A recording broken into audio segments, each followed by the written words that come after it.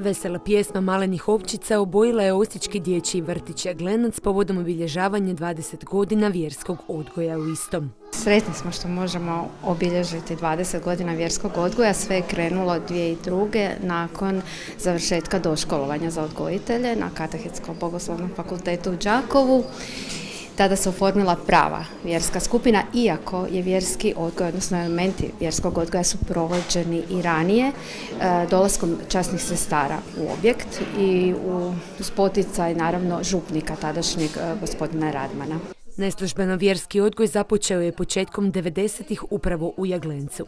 S godinama je napredovao pa su vjerske skupine oformljene i u dječjem vrtiću u Višnjevcu te u dječjem vrtiću Jelenko. Ove godine smo oformili i zajednicu učenja odgojiteljica u vjeri gdje bi one zapravo kroz nekakvu podršku jedna drugoj, kroz razminu primjera dobre prakse zapravo još dodatno unaprijedile svoj rad i imamo zapravo jako dobru suradnju sa katehetskim uredom tako da ove godine ćemo započeti sa školovanjem još dodatnog broja odgojiteljica za zapravo provođenje vjerskog programa kako bismo mogli otvoriti još dodatne skupine ovoga programa. Ovaj odgoj kažu odgoj je za dobro. Njime se razvija duhovna dimenzija kod djece.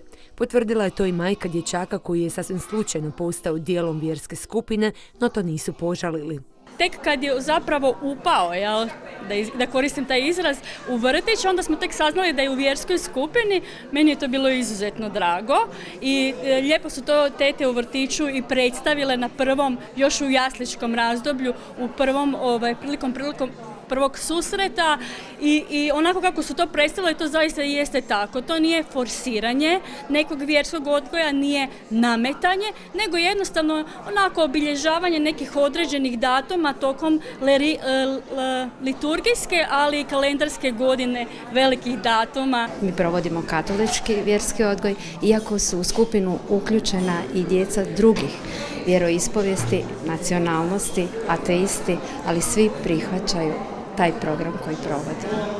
I zapravo to sve ide kroz igru. Kroz igru, razne aktivnosti, putovanja, gostovanja. Trenutno je u ovu skupinu u Jaglencu uključeno 28 djece u dobi od 3 i 4 godine koji kroz ovaj program otkrivaju svijet kroz vjeru.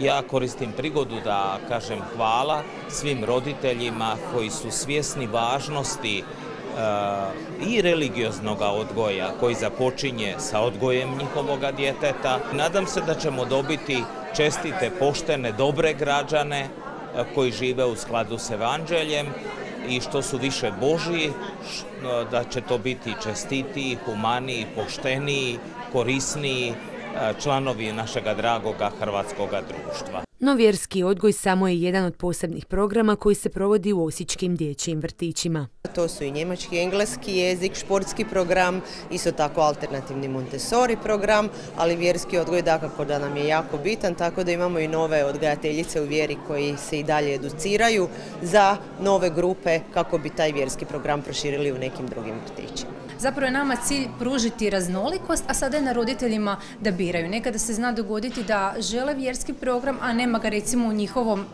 kvartu, da se tako izrazim. Tako da za svakoga ima po nešto.